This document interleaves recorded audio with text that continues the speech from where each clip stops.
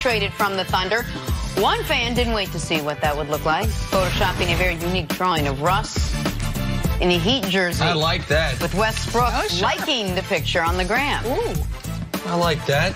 You like that fit, Sarah? I do. Was- I do. What? A, What's up, Jenna? What- no, I- How do I'm, you know I'm, it's him? no, It's not. I know it's him. Where's his face? Well, it's just it's evidently that's Parker George's style of art.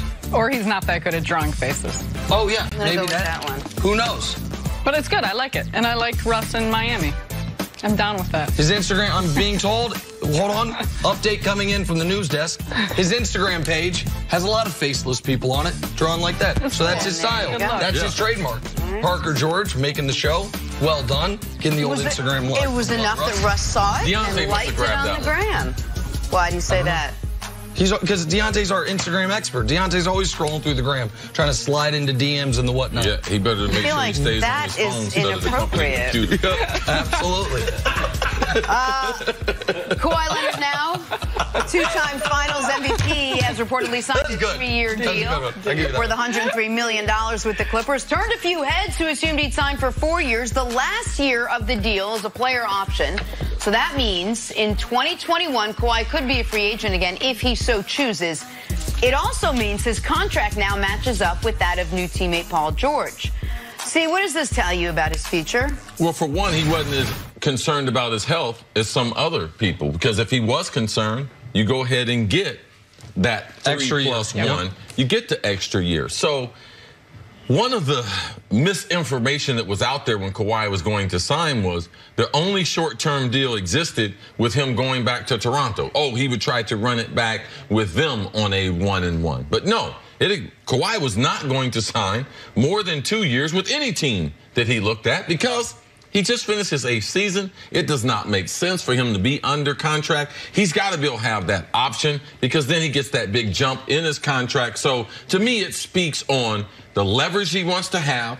His overall health he's not concerned about. And the one of the most surprising things about free agency was how aggressive he was in taking the initiative to go out there and talk to players who he didn't have an existing relationship with and hadn't been in communication with. That right there was very surprising. Yeah, and you said it, the word leverage. I mean, this is exactly what we would anticipate out of Kawhi Leonard. It's a smart, shrewd, savvy move in doing what works best. And, I don't necessarily think this is a bad thing for the Clippers, but ultimately it gives Kawhi the leverage and, and the power to be able to, when that player option comes out, look at the roster, look at the team. He's someone that we mm-hmm. talk so much about really wanting to trust an organization, trust the medical staff, trust everyone he's around. And he can have that belief and confidence in the Clippers, but until you're there, until you're in it, you don't ultimately know what exactly it's going to be like. And I also think you bring up a, a great point about that 20, 2021 free agent class, which uh, this contract lines up with Paul George. It also lines up with LeBron James. It also lines up with Giannis Antetokounmpo, Bradley, some others. So I, I think for this, Kawhi Leonard is setting himself up in a really excellent position. It also allows the Clippers to, as well, a minimum of two years, but allows the Clippers to to continue to prove to Kawhi that this is the best place Yes, for him. I remember LeBron James when he initially went to the Miami Heat. There were a number of things he had talked about with the organization, but he didn't get it in his contract. They had just talked about him. Exactly right. Man, as soon as LeBron signed, man, Pat Riley took a lot of that stuff away. Yep. LeBron was like, hey, I, I thought we had whatever was in the contract as far as seats, people in the locker room, VIP services, all the stuff he had in Cleveland. That no longer existed once he went to Miami. LeBron learned A lot of the handshake agreement stuff, Yeah. the stuff that wasn't in the contract. These guys, the, the the special dispensation he had received in Cleveland, he was not given in Miami, and then he got it back when he went back to Cleveland. Like we are now to a point in the NBA. This is not for all guys. Hell, I mean Reggie Bullock just had the Knicks basically say, hey, the contract we agreed to, it's not available to you anymore. And Marcus Morris went to the Spurs and said, I'm going to go take his contract. So there, for if you're not a top 12 guy what I'm about to say doesn't apply to you. But if you are a difference maker, if you are a guy that can turn the fate of a franchise with your decision, you become eye to eye with the owner as far as most powerful people in that organization, as long as you have the credible threat to leave, as long as you have a free agency or an option year hanging over their head. And so the owners did not want these seven year deals anymore that became albatrosses.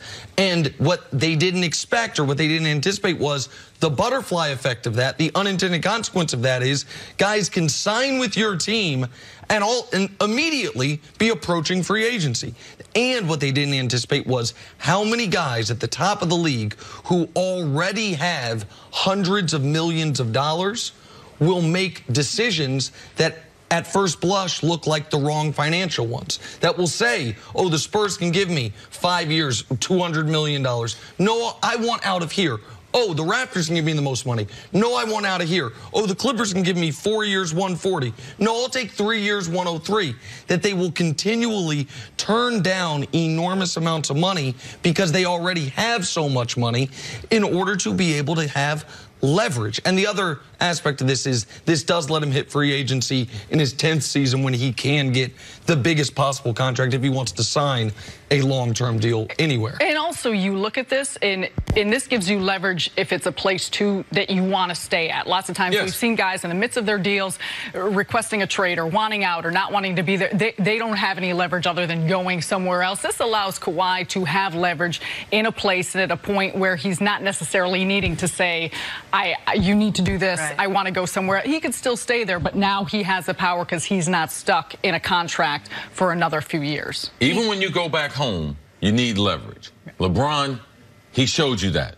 Dan Gilbert, not bringing back the general manager. Ah, you know something? Championship, we got one. He was so satisfied mm-hmm. with that. So, man, Kawhi, he won't have that problem. Even though he's back at home, still keep the pressure on the organization and his owner.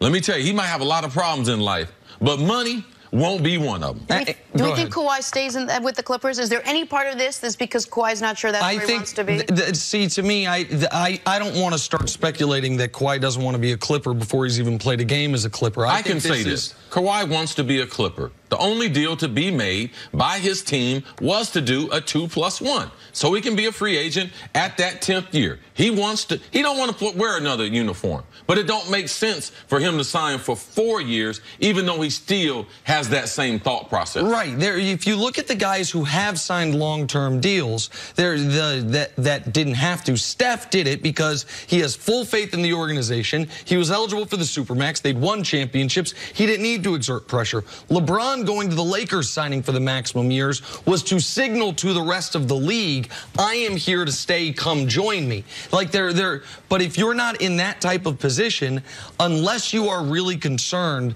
about injury or about your ability to continue playing at a high level, you might as well continue to hit free agency as early as and often as possible to keep pressure and to keep viable, flexible options. Because what the other thing for Kawhi, I'm sure he wants to be a Clipper, but what if two? What if something happens to Paul George and Lou Williams, and all of a sudden it's like, man, like through nobody's fault, so some catastrophic injury, like can I win a championship here? That flexibility is a good thing to have. Flexibility, leverage, and I do think he gave up money coming to the Clippers, money he could have had. Mm-hmm. This allows him to get to that supermax with the 10 year at age 30 and make a lot more money there on the back end with a new contract. All right, Sarah, we'll see you a little bit later on the show. Thank you. Okay. Coming up, some football. Would Todd Gurley return to form next season? That's next on First.